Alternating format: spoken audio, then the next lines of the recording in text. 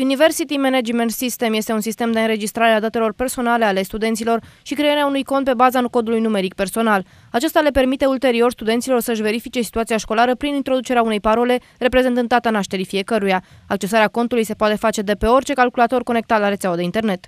Începând cu luna octombrie, studenții pot face acest lucru și folosind telefonul mobil, prin accesarea adresei valahia.ums.ro.